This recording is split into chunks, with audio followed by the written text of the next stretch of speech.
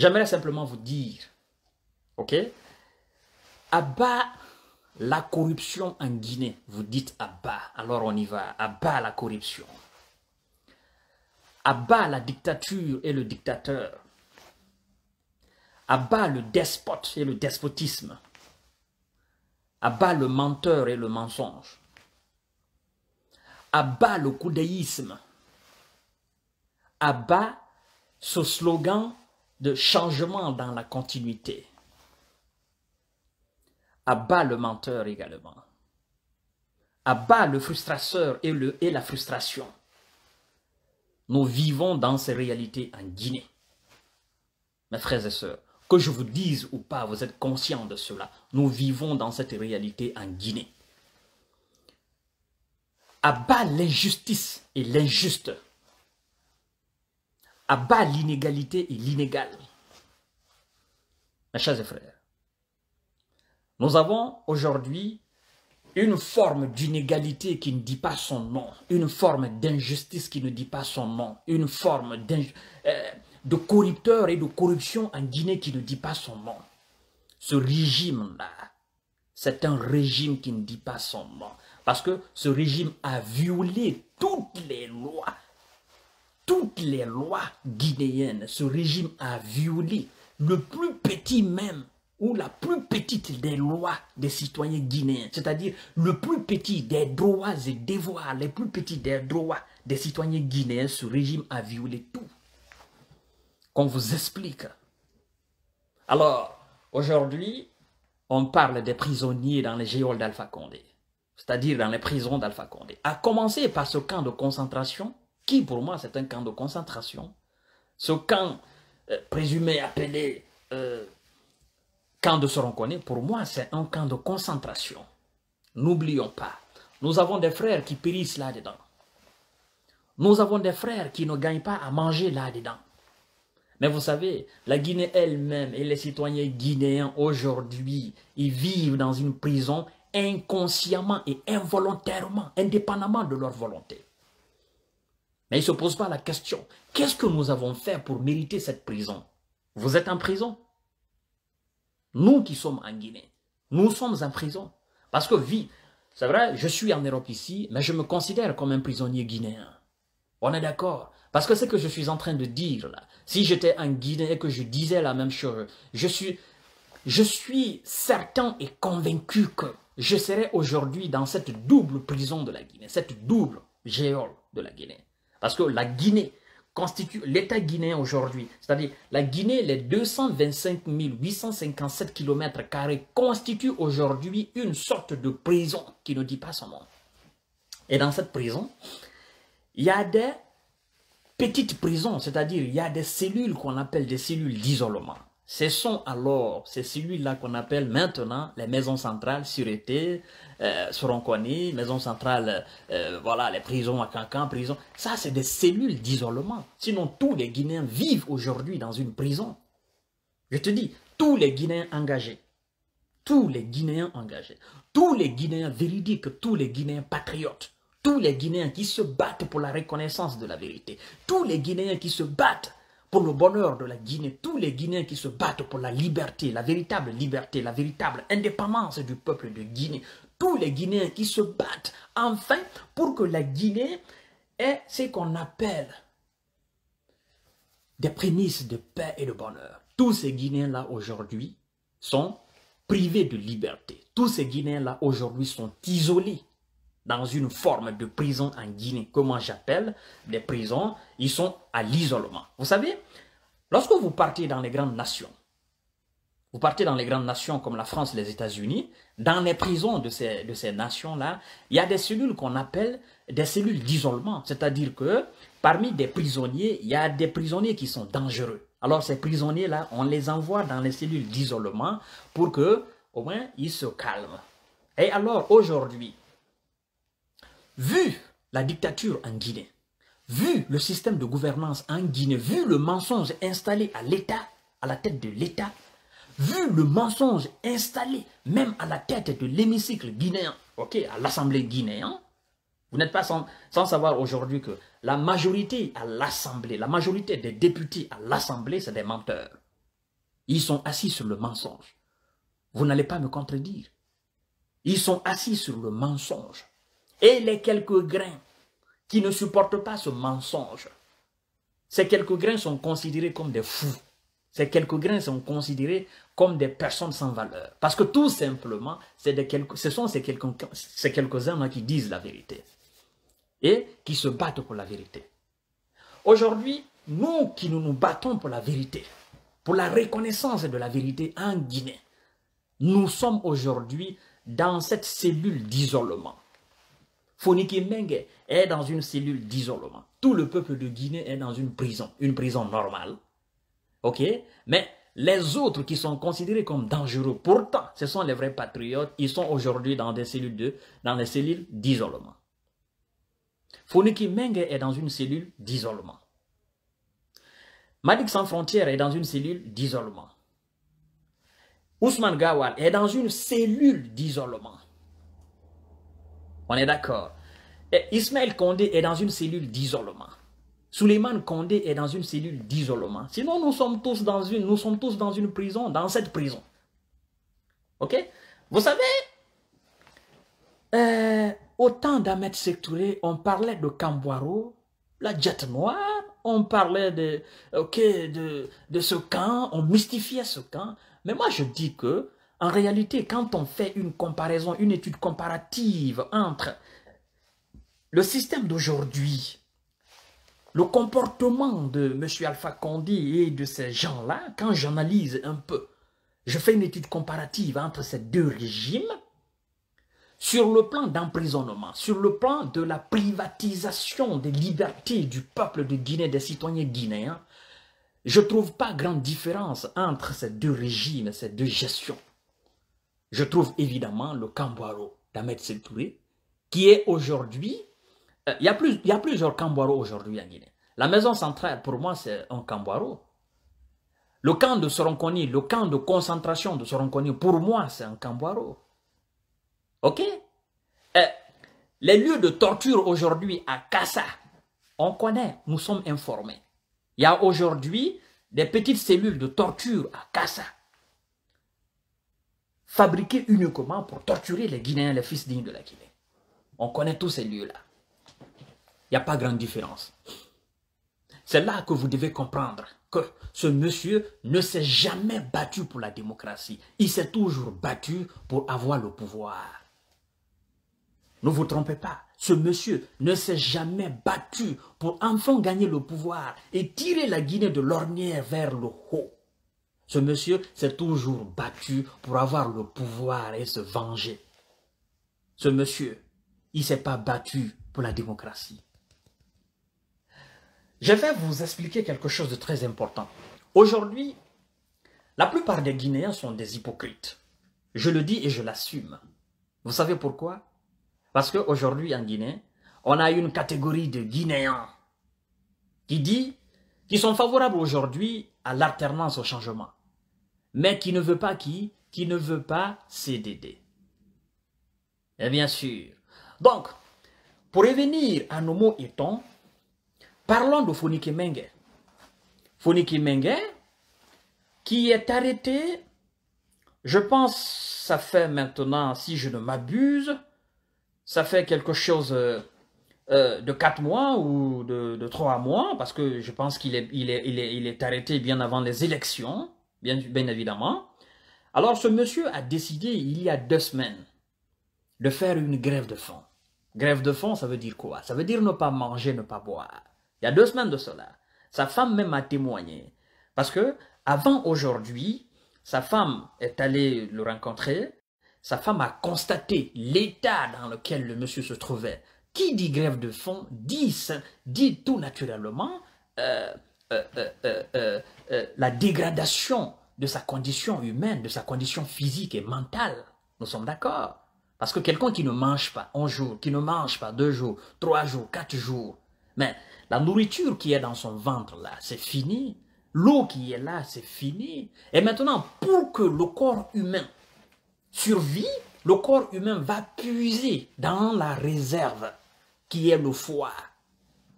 Et au fur et à mesure que le corps humain puise dans le foie, le poids s'amincit. le, le foie devient petit, le foie devient petit, le foie devient petit. On est d'accord? Et après quelques jours, la vertige commence. Monsieur Menge, aujourd'hui, il a eu la vertige. Menge, aujourd'hui, a été évacué à Ignace Tout simplement, pourquoi?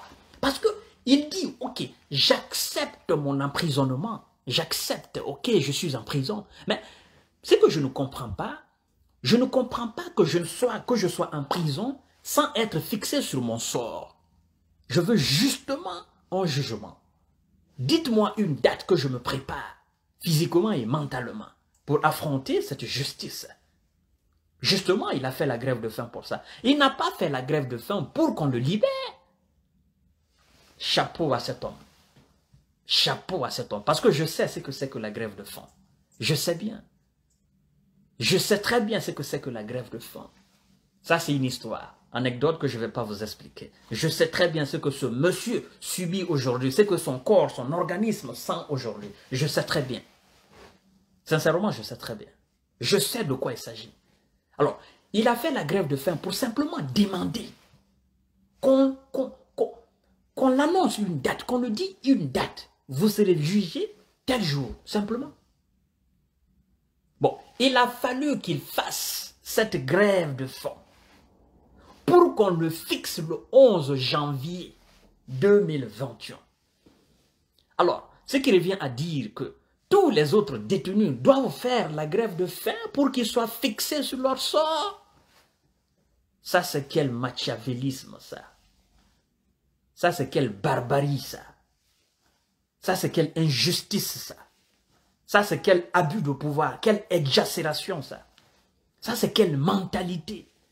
Ça, c'est quelle privatisation des droits les plus élémentaires de nos frères et sœurs, de nos frères patriotes et nationalistes qui sont détenus dans ces cellules d'isolement-là. Les procureurs, vous devez comprendre qu'en réalité, l'État ne fonctionne pas comme ça. Monsieur les magistrats et monsieur les juges, vous savez, vous avez des enfants, vous avez des jeunes frères, mais vous savez pourquoi on ne parle pas de vos, de vos fils et de vos frères aujourd'hui en Guinée? Parce qu'ils ont choisi la lâcheté. Ils ont choisi la lâcheté. Nous, nous ne choisissons pas la lâcheté. Nous choisissons le combat. Nous choisissons d'affronter cette dictature désarmée. Et nous sommes en train de le faire.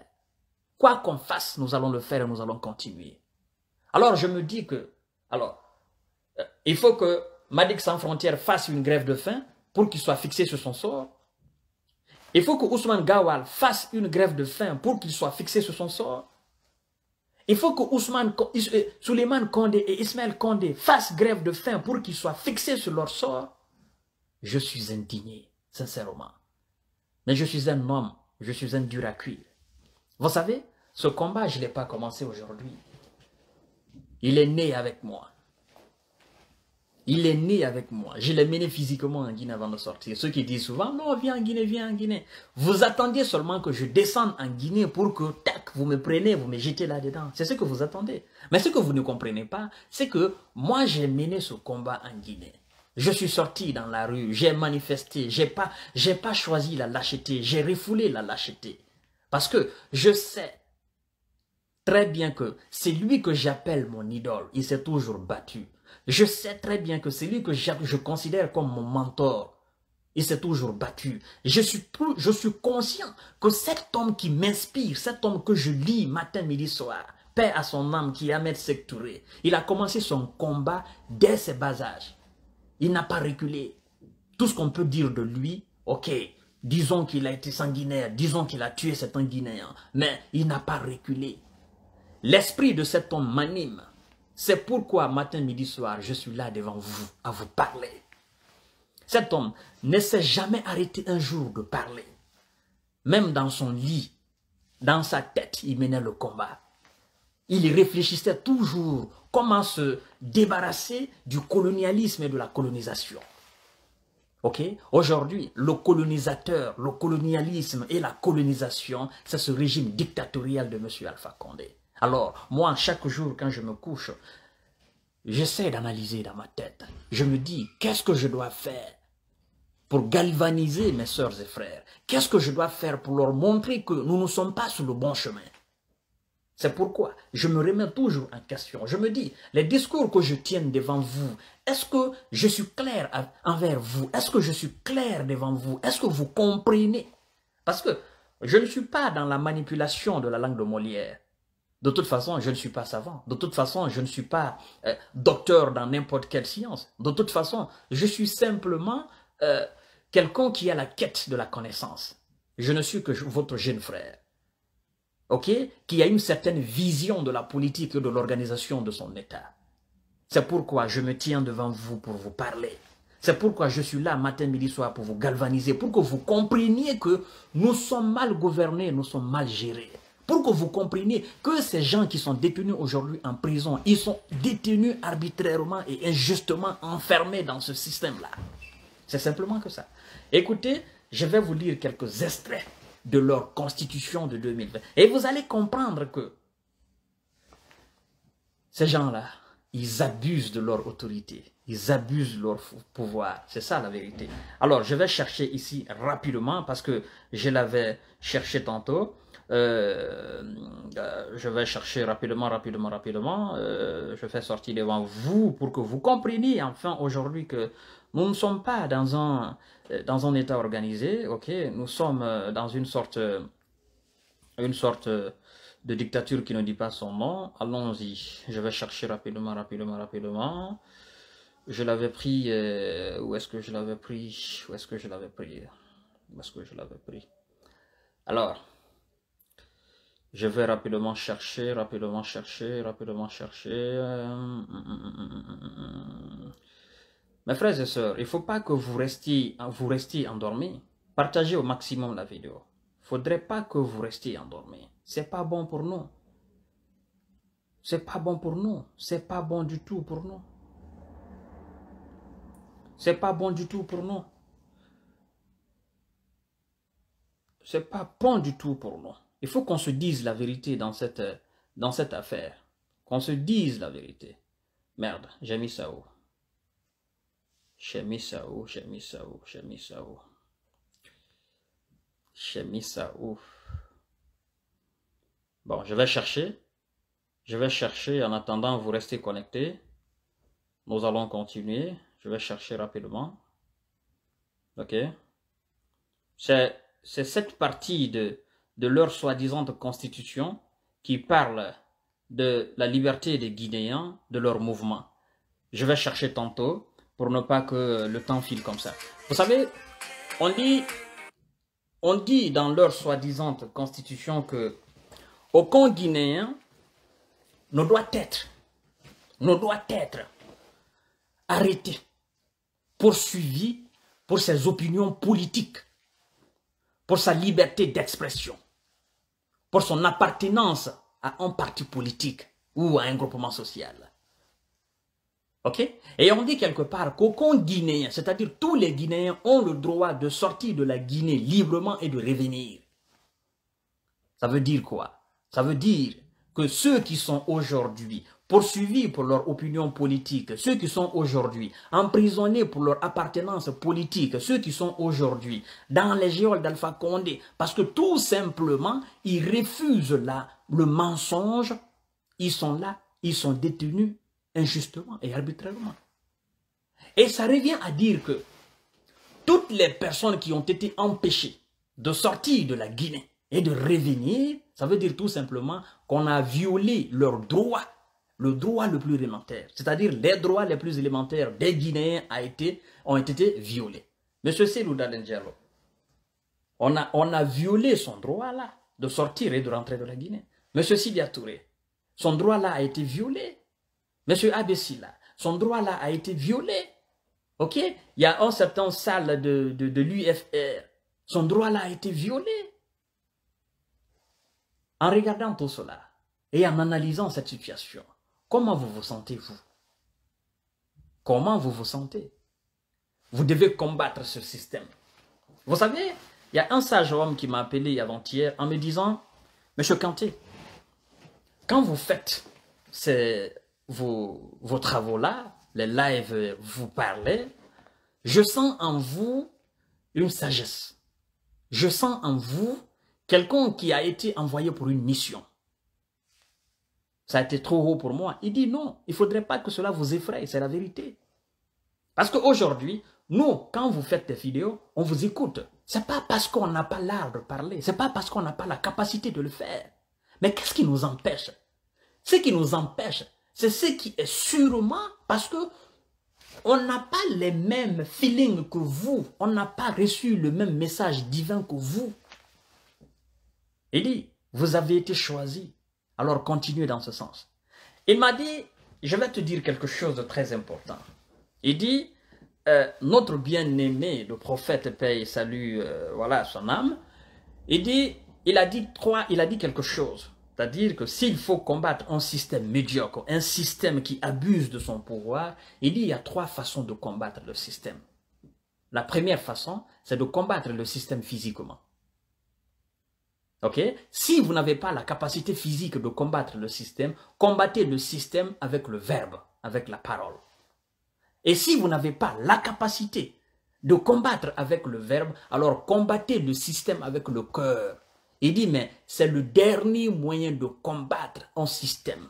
C'est-à-dire, vous dégoûtez le système avec votre cœur.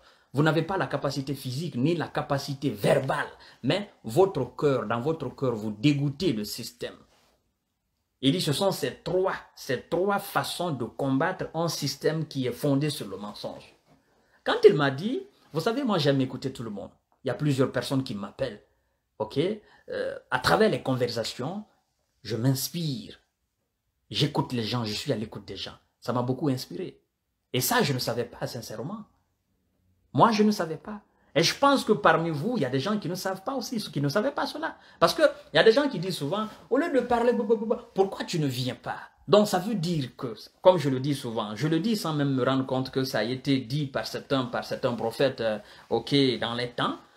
Moi, je me dis, écoutez, nous pouvons combattre le système avec mille manières, parce que nous avons le même objectif. Moi, je suis là aujourd'hui, je combats le système. Je décortique ce qui se passe en Guinée. Je détaille ce qui se passe en Guinée, parce que je suis informé, parce que j'ai des gens qui m'informent. Ok? Il y a des gens qui sont sur le terrain, qui combattent le système. Alors, il y a des gens qui sont en Guinée et qui sont à l'extérieur, qui dégoûtent le système dans leur cœur. Ça veut dire que tous ces gens qui dégoûtent, qui tournent le dos au système, nous sommes tous les combattants. Nous combattons le système. Le système qui est fondé sur le mensonge. Alors, mes chers frères, j'aimerais que, à partir d'aujourd'hui, que vous qui me suiviez ou que vous qui partagiez cette vidéo, ok, sur vos profils, si vous avez l'amabilité de mettre la photo de Foni Kimenge là-dessus, pour qu'ils sentent et pour que la plupart des gens sentent que on les oublie pas, on les a pas oubliés. Malgré qu'ils soient aujourd'hui dans les, dans, les, dans de M. Alpha Condé, on les oublie pas, on ne peut pas les oublier. Matin, midi, soir, on pense à eux. Et c'est pourquoi je dis, il ne faudrait pas que Founiki Menge meure dans les mêmes circonstances que Roger Bamba paie à son âme. Parce que Roger Bamba, il faut dire la vérité, sa femme dit que le monsieur n'a jamais eu une maladie de foie. Hein? La femme de monsieur dit que ça fait des années, moi je vis avec mon mari, je vivais avec mon mari, mais mon mari ne s'est jamais plaint d'un problème de foie. Et on va nous dire que ce monsieur est mort euh, à cause de cirrhose de foie. Simplement, bien sûr, parce qu'il a été empoisonné, c'est la vérité. Alors, il faut qu'on alerte. Fonike Menge ne doit pas mourir dans les mêmes circonstances. Ignace Din, nous connaissons l'état de cet hôpital-là. Nous connaissons les structures de cet hôpital-là. Nous connaissons ceux qui traitent, ceux qui sont en train de manigancer quoi là-bas. Nous les connaissons. Il faut qu'ils fassent très attention. Parce que ce système-là est moribond. Ce système-là est moribond. Ceux qui sont en train d'empoisonner les fils guinéens là-bas, il faut qu'ils sachent que ce système-là est moribond. Ce système-là est mourant. Ce système-là va passer. Et quand on réussira de mettre un État fort, une administration forte avec des institutions fortes en place, ils vont répondre devant la justice guinéenne. Il faut qu'ils se rendent compte, il faut qu'ils le sachent. Et je pense que c'est l'une des raisons pour laquelle aujourd'hui, on ne veut pas que M. CDD accède au pouvoir en Guinée. Parce qu'il a l'intention de fortifier les institutions guinéennes. Il a l'intention de bâtir une administration réelle, une administration pour le peuple. Il a l'intention de, mettre la Guinée sur les rails. C'est pourquoi ces gens-là, ils ne veulent pas le voir à la tête de l'État. Alors je vais entamer le deuxième volet du sujet. Foniki Menge, on te salue. Vous êtes aujourd'hui dans les mêmes lots que euh, Che Guevara. Vous êtes aujourd'hui dans le même lot que euh, Dadis Kamara. Vous êtes aujourd'hui dans le même lot que euh, Thomas Sankara. Vous êtes aujourd'hui dans le même lot que Marcus Garvey. Vous êtes aujourd'hui dans le même lot que Nelson Mandela. Vous êtes aujourd'hui dans le même lot que Mahatma Gandhi. Vous êtes aujourd'hui dans le même lot que tous ces patriotes nationalistes qui se sont battus pour la cause de leur nation. Vous êtes un grand homme. On doit vous le reconnaître. Vous méritez cela. On doit vous le reconnaître. reconnaître la qualité de son prochain ne remet pas en question les tiennes. Vous méritez ces éloges-là. Et je pense même que ce n'est pas des compliments. C'est une réalité, c'est une vérité. Parce que vous êtes un homme comme ça. Il y a des hommes comme ça. Tout le monde ne peut pas avoir l'audace de Foniki Mengi. Tout le monde ne peut pas avoir cette audace. Tout le monde, tous les Guinéens ne peuvent pas, tous les jeunes Guinéens ne peuvent pas avoir cette qualité-là. Non, affronter un système, faire grève de faim pendant deux semaines, accepter de mourir parce que simplement je veux être fixé sur mon sort. Il n'a même pas fait grève de faim pour dire je veux, la je veux ma libération. Il a fait justement cette grève de faim pour avoir, pour être fixé, pour, pour qu'il y ait une date de son jugement. Alors ce monsieur-là mérite tout en Guinée. Je pense que ce sont ces patriotes pareils-là qu'on a besoin en Guinée. Je pense que le sens du patriotisme chez lui a atteint un certain niveau, un certain degré démesuré, incommensurable, c'est-à-dire une dimension, ça n'a pas de dimension chez lui, ce monsieur-là. Sincèrement, le degré de patriotisme qui est, qui, c'est-à-dire qui, régit son organisme, c'est-à-dire qui, qui se trouve dans les tréfonds de son être, n'a pas de dimension. Qu'on se dise la vérité. Ce n'est pas tous les hommes qui peuvent faire cela. Ok? La plupart des jeunes Guinéens aujourd'hui vivent dans la lâcheté. Ils ont les bras croisés comme ça. Ah non, c'est bon, ça va changer. Allah na moumali ma, Allah na fama moumali de. Donc, Allah moumali. Hé, Allah moufama. Allah n'existe pas en Guinée. Allah c'est nous. Allah n'existe pas en Guinée. Allah c'est nous. Nous sommes les représentants de Allah sur la terre. Allah nous a tout donné. Nous devons nous battre pour créer les conditions de subsistance nous devons nous battre pour créer les conditions de développement. Nous devons nous battre pour créer les conditions de paix. Nous devons nous battre pour créer les conditions de bonheur. Nous devons nous battre pour créer les conditions de justice. Nous devons nous battre pour créer les conditions d'égalité. Nous devons nous battre pour créer les conditions d'impartialité. Nous devons nous battre pour créer les conditions d'emploi. Nous devons nous, devons nous battre pour créer les conditions euh, de création d'emplois. Nous devons nous battre pour créer les conditions d'avoir de l'eau potable et de l'électricité. Ça ne descendra pas du ciel. Je vous le dis tout le temps. Ça ne descendra pas du ciel. Allah a déjà tout fait pour nous. S'il n'y a pas de lutte, il n'y a pas de progrès, disait Douglas Frédéric. C'est comme je vous ai dit hier. John Kennedy, le président américain, qui a été assassiné, il a dit ceci. Nous ne pouvons pas euh, devenir ce que nous voulons devenir en restant ce que nous sommes. Écoutez très bien la citation de Jean. Il dit, nous ne pouvons pas devenir ce que nous voulons devenir en restant ce que nous sommes. Nous ne pouvons pas devenir des hommes forts en restant les bras croisés et en implorant Allah. Allah s'en fout de nous. Il s'en fout de ces gens-là, de ces paresseux-là. Je vous le dis, la meilleure forme d'adoration, de Allah, c'est le travail. La meilleure, la véritable forme d'adoration de Allah, c'est le travail. Parce que un bon musulman, un bon chrétien, c'est quelqu'un qui travaille, c'est quelqu'un qui ne quémande pas, c'est quelqu'un qui ne ment pas pour manger, c'est quelqu'un qui ne vole pas pour manger, c'est quelqu'un qui ne fornique pas pour manger, c'est quelqu'un qui ne sème pas la corruption pour manger, c'est quelqu'un qui ne kidnappe pas pour manger.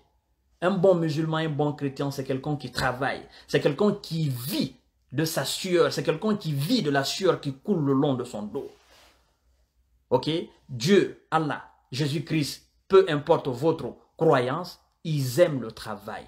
Parce que le fait, le simple fait de, se lever et aller à l'école, c'est le travail. L'énergie que vous fournissez pour aller apprendre le savoir, c'est le travail. Le simple fait de vous lever, aller chez un Karamoko, apprendre le Coran, c'est le travail. L'énergie que vous fournissez, c'est le travail. Le simple fait de vous, concentrer sur la lecture du Coran, c'est le travail. Tout est travail, tout est énergie. Nous devons travailler pour construire notre nation. Mais comment travailler si nous voulons rester assis? On ne peut pas travailler en restant assis. Il faut qu'on travaille, il faut qu'on se révolte. Quand je dis révolte, la révolte ne doit pas être physique. Parce qu'on ne se bat pas contre un dictateur physiquement qui est au pouvoir. On ne se bat pas contre un despote physiquement qui est au pouvoir. Il est prêt à tout pour sauvegarder son pouvoir. Mais on peut se battre d'une certaine manière physiquement. Physiquement, si le peuple est dans l'harmonie, dans la symbiose, main dans la main, le peuple peut, dégager le despote. Mais à partir du moment que ce peuple est divisé, on ne peut pas se battre physiquement. Un peuple divisé est un peuple faible. Le peuple de Guinée aujourd'hui divisé, c'est pourquoi nous sommes faibles, mes frères et sœurs. Reconnaissez cela. Allah ne viendra pas. Jésus ne viendra pas. Bouddha ne viendra pas. Même le diable, il viendra pas. Même Satan, il a abandonné la Guinée. Il a mélangé tout en Guinée, il a fui. Vu la condition, vu l'atrocité, ce qui se passe en Guinée, Satan a peur de, la, de certains Guinéens. Il a peur du système guinéen.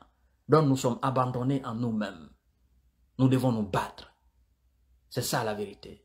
Nous devons nous battre pour gagner. Nous devons nous battre pour gagner. C'est ce que je vous dis matin, midi, soir. Mais vous savez, j'ai du mal à convaincre certaines personnes en Guinée, certains jeunes en Guinée. Vous savez pourquoi? Parce que il y a des genres, en Guinée, genres de personnes en Guinée qui pensent que la Guinée, il y a tout. Il n'y a absolument rien en Guinée. Mais ceux qui disent qu'en Guinée, il y a tout, je les comprends. Parce que depuis leur naissance, ils n'ont jamais vu l'organisation étatique, la bonne organisation étatique.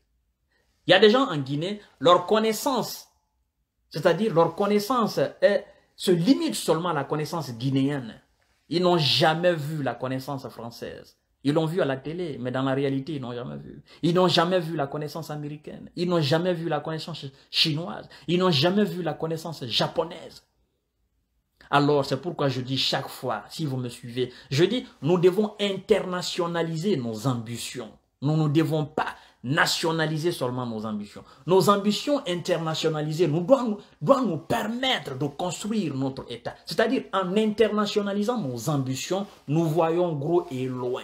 Et ça nous permet d'organiser très bien chez nous. Ça a été le cas des Chinois. OK?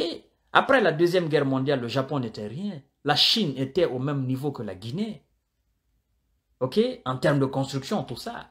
Mais qu'est-ce que les Chinois ont fait? Ils ont internationalisé leurs ambitions. Ils ont envoyé partout leurs enfants, leurs étudiants, leurs élites, un peu partout à travers le monde. En France, aux États-Unis, un peu partout pour aller chercher le savoir. Et dès qu'ils ont eu le savoir, ils sont retournés chez eux. Avec la connaissance traditionnelle qu'ils avaient en Chine, ils ont jumelé cela. Et c'est ce qui permet aujourd'hui la Chine d'avancer. Nous, pendant ce temps, qu'est-ce qu'on fait? On vole chez nous. Et l'argent, on va mettre dans les banques étrangères. Pourquoi? On vole l'argent chez nous, on va mettre dans, les banques en Arabie Saoudite, en Jordanie, au Brésil, en France, en Allemagne, aux États-Unis. Pendant ce temps, on achète, nos élites achètent des bâtiments, des villas en Turquie. Pourquoi? Pendant ce temps, parce que regardez un peu, quand on parle de fuite de cerveau, il faut parler souvent aussi de fuite d'économie. Parce que nous, aujourd'hui, malgré ma petite, ma toute petite connaissance que j'ai aujourd'hui, je suis guinéen, je ne vis pas en Guinée. Cette connaissance qui est là, qui est mise au service de la nation française, c'est une fuite de cerveau du peuple de Guinée à l'étranger. Pourquoi je ne peux pas rentrer chez moi? Parce que tout simplement, il y a un despote à la tête de l'État. Ok? Alors, tous ceux qui volent de l'argent en Guinée, qui vident les banques guinéennes, qui envoient à l'extérieur. Ils font ce qu'on a fait, la fuite de l'économie guinéenne. Parce que plus il y a d'argent dans les banques, plus les banques ont plus de crédibilité. plus les jeunes entrepreneurs peuvent aller emprunter de l'argent dans ces banques-là, travailler là-dedans et retourner l'argent. Regardez aujourd'hui dans les banques en Guinée, il n'y a pas d'argent dedans. Tout simplement parce que les ministres guinéens, ils ne peuvent pas mettre de l'argent là-bas. Parce que c'est trop. On va trop, poser des questions. Ils préfèrent acheter des villas en Turquie, des maisons en Turquie. Ils envoient leurs enfants là-bas. Ils préfèrent, ils préfèrent remplir les banques étrangères et vider les banques guinéennes. C'est pourquoi on ne peut pas avancer. On ne peut pas avancer. C'est pourquoi? Sincèrement. Alors, mes chers frères, je ne vais pas m'attarder sur ce sujet. Je vais naturellement parler du deuxième volet. Je dis, si M. Alpha Condé attend un éventuel dialogue et, euh, disons, euh, la reconnaissance de sa soi-disant victoire par CDD pour composer son gouvernement, je dis simplement qu'il perd son temps. Alpha perd son temps. Si il attend ce dialogue avec CDD, il perd son temps. Si il attend que CDD reconnaisse sa, sa, soi-disant victoire, il perd son temps. Parce que M. CDD ne va jamais reconnaître cela. Parce qu'il sait qu'il est victorieux. Il sait que la victoire est de son côté. Il sait. Il sait très bien. C'est un bon élève. CDD, c'est un bon élève. C'est un très bon élève. Excellent élève. Vous savez? Lorsqu'un professeur interroge un, élève, on vous interroge par exemple, on vous pose une question sur une matière, vous répondez, le professeur, pour, voir si vous êtes sûr de vous, si vous êtes un élève bien physiquement, bien moralement, ok, ben, ce que vous dites, c'est vrai. La réponse que vous avez donnée là, c'est vrai, c'est une bonne réponse. Si l'élève insiste en disant oui, parce qu'il sait que c'est la vérité. S'il insiste en disant oui, oui, oui, oui, alors l'élève devient bon élève. CDD est un bon élève. Il sait aujourd'hui que la victoire, c'est pour lui. Cette victoire constitue sa vérité. Alors, quoi que le pouvoir en place fasse pour qu'il reconnaisse la soi-disant victoire, il ne peut pas. Parce qu'il sait que reconnaître ça, c'est de reconnaître le mensonge. Et le c'est-à-dire reconnaître que Alpha a gagné, c'est complètement le désappointer, soit lui-même, c'est complètement euh, se bannir complètement. On est d'accord? C'est complètement euh, fou. Vous savez que vous êtes sur la vérité. C'est lui qui vous pousse à reconnaître son mensonge. Il sait que vous êtes sur la vérité. Il sait que vous avez raison. Il sait que lui, il est sur le mensonge. Il sait qu'il a menti. Il sait qu'il a confisqué. Mais il veut que vous reconnaissiez. Mais restez sur votre position. Restez campé sur votre position, quoi qu'il arrive, parce que vous êtes sur la vérité. Après, il va se rendre compte que il faut que je le laisse. Il vit sur la vérité. Oui, j'ai eu tort. Mais je ne peux plus faire ma arrière. C'est vrai, j'ai eu tort, j'ai mal fait. Mais vous savez, il y a dans cette affaire de reconnaissance de victoire d'Alpha, il y a une affaire euh, euh, politique là derrière, une affaire d'économie là derrière. Vous savez, je vais vous expliquer. CDD a été où est aujourd'hui le challenger principal d'Alpha? L'international le sait. Tout le monde entier le sait. La Guinée le sait. Et dans leur déclaration, dans leur annonce de résultats, ils ont donné 33%. On est d'accord? Ok, à l'international, on dit, mais quelqu'un qui a 33%, il a quand même donné une caution qui est à 800 millions de francs guinéens. Quelqu'un qui a 33%, vous dites que c'est votre... Euh, il a été deuxième. Mais il n'accepte pas encore votre victoire. Mais comment voulez-vous que euh, tout ce que vous faites dans votre pays soit crédible? Et dans quelles conditions? Ce dernier aussi dit qu'il a gagné avec 53% et quelques, proche de 54%. Comment voulez-vous nous convaincre, nous les investisseurs, pour venir investir dans cette condition pareille? Ça ne lui donne pas de crédibilité. Il n'a pas de crédibilité. Et c'est pourquoi je dis d'ailleurs, s'il attend cela pour composer euh, une certaine, euh, une soi-disant euh, ou un soi-disant gouvernement d'union nationale, il va pas composer, il va pas réussir à composer ce gouvernement d'union nationale. Et on ne peut pas parler de gouvernement d'union nationale si là, là, là, là, là, le parti le plus influent de la République de Guinée ne prend pas part. Quoi qu'on dise, c'est le parti le plus grand de la Guinée.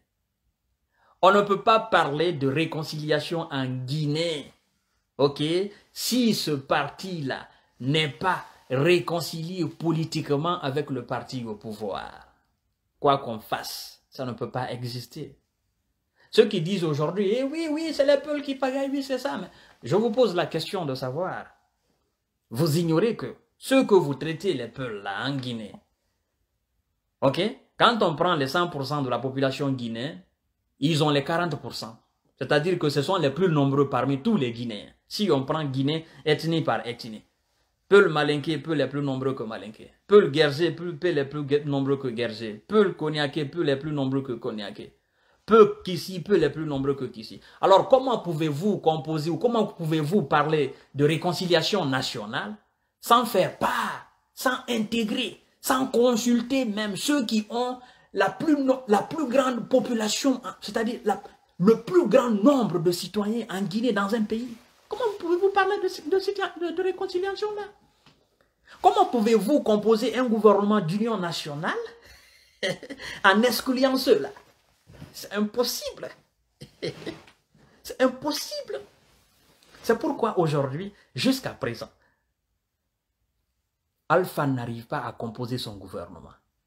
Tout le retard que vous voyez là dans cette composition de gouvernement, c'est ça, c'est dû à cela. Il y a un très grand travail qui est en train de s'effectuer en coulisses, que les Guinéens ne connaissent, que les Guinéens ne savent pas. Mais les Guinéens avertis savent très bien. Coulisses, un très grand travail en coulisses, en secret qui se passe entre le pouvoir en place et ce plus grand parti de la République de Guinée, qui est l'UFDG. Il y a des émissaires de part et d'autre. Alpha envoie chaque fois des émissaires. Même si ce n'est pas des émissaires qui envoient, qui viennent de la part directe d'Alpha, mais indirectement. Indirectement, il y a des gens pour dire, ah, monsieur CDD, euh, sincèrement, il faut, euh, euh, il faut, c'est pour la Guinée, c'est pour le bien de la Guinée, il faut faire ceci, il faut faire cela. Non. Il y en a plein de personnes qui viennent comme ça, des émissaires de la part du pouvoir en place. Mais il ne peut pas le faire. Parce que c'est un homme de conviction. Il ne peut pas le faire. Parce qu'il sait qu'il est sur la vérité. Il ne peut pas le faire. Parce qu'il sait que le faire, c'est se trahir soi-même. C'est ça la vérité. Aujourd'hui, il y a plein de Guinéens qui veulent de l'alternance de changement en Guinée. Mais simplement, ils ont le dégoût de CDD. Et ce dégoût, vous savez, ça s'explique comment? Ça s'explique tout simplement parce que ces gens-là, ils ne veulent pas aller en justice. Ils ne veulent pas affronter la justice guinéenne. C'est simplement ça.